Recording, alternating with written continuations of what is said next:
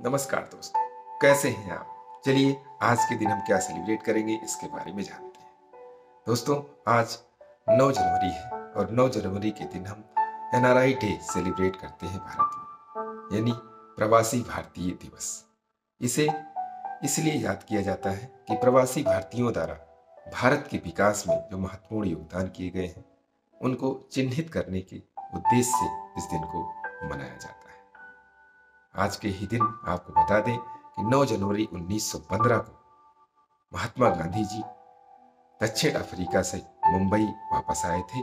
इस घटना के उद्देश्य से इसको भी याद किया जाता है। आज के मोटिवेशनल टॉक में हम बात करेंगे कि विद्यार्थी जीवन में असफलता का अचूक बाण या तीर क्या है, जो विद्यार्थी को पता भी नहीं चलता और उसकी दिलों और दिमाग की गहराइयों में प्रवेश कर जाता है। वो है social media. WhatsApp, Instagram, Facebook आदि आदि। ये आपके दिलों और दिमाग में जितनी गहराई से प्रवेश करेगा, असफलता उतनी ही गहराई से आपके पास आती जाएगी, उतनी ही नज़दीक आती जाएगी। इसलिए विद्यार्थी जीवन में सोशल मीडिया को जितना दूर रखेंगे, असफलता उतनी ही दूर रहेगी।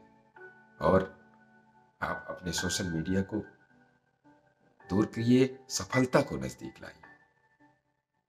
इसलिए सोशल मीडिया से दूर रहें और मोटिवेशनल टॉक देखते रहें, मोटिवेट होते रहें नॉलेज बढ़ाते रहें।